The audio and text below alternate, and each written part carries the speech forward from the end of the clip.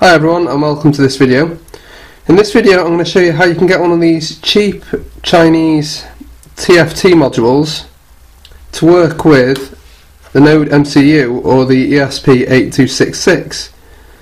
Um, so this particular one that I've got is, um, well you can see what it is there.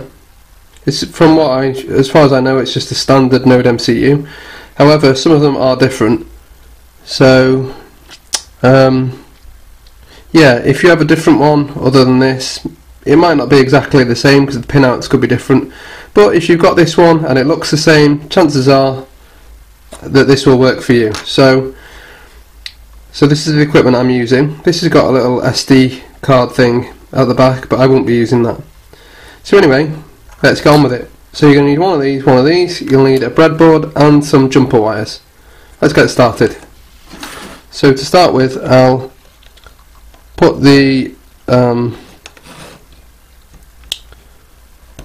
I'll put the Node MCU in this breadboard. This one's really stiff. It's quite a newish breadboard. It's really stiff. Okay, that's in. And let's put the um, the module in here as well. Um, just zoom out a bit more. I'll put the module in. Um, you can see that there's some labelling for the pinout as well, but don't worry because um, if you've got the same as me, then I'm going to be quoting you this anyway. So I'll put that in here. Um, that looks about right. Okay, now this is the important bit. And this took me, well, in total, I'd say it's took me about two to three hours to research how to do this. I tried and tried and tried, and I just couldn't do it until eventually I found out how to. And um, the wiring is quite important, and also the library is important. This is how to wire it up, or this is how I wire it up anyway. So the first pin, which is the reset pin,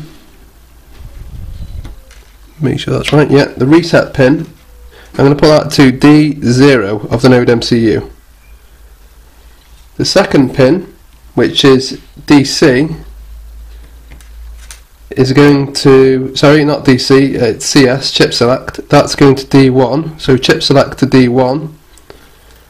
Then DC, which is the third pin, I'm going to put to D2.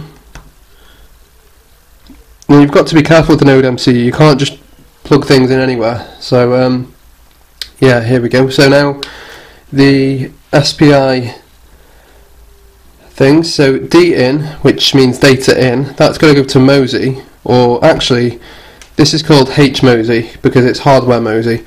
Now with the Node MCU, you can actually use software MOSI or software SPI, but I would very much discourage you not to do that. Use the hardware one. So anyway, so this pin D in goes to H HMOSI, which on this Node MCU happens to be labelled D7. Then the next one is the clock, and this goes to H clock, hardware clock, which is D5. And then we need VCC, so this is 5 volts. So VCC to 5 volts, which um, is going to have to be V in. I'm hoping that V in is 5 volts, well it will be. So V in. I don't know if all node MCUs have that, but mine does. So that needs to go to 5 volts, should be V in. And the backlight, backlight is the next one, and that needs 3.3 volts.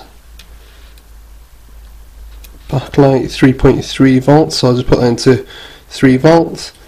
Then finally ground to ground. So have we got a ground here? In fact, I'll just swap that and I'll put that in this 3.3 volts here. Then, um, finally ground. So ground to ground on the Node MCU. I'll just change that wire for a longer one.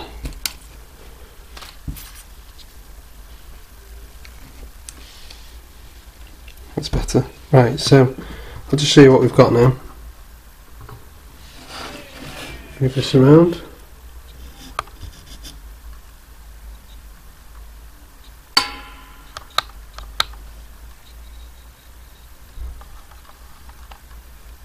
So we've got reset going to D0, we've got chip select going to D1, we've got DC going to D2, we've got D in which is the first purple layer, going to H which on mine is D7.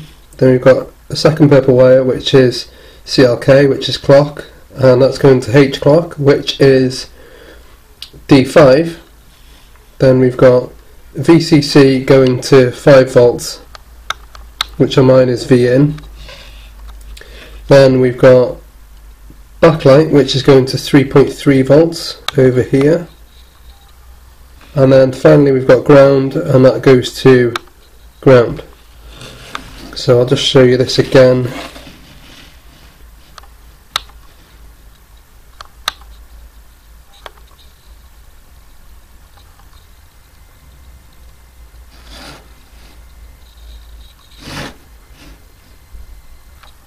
Sorry about the light. The light's not very good in here today for some reason.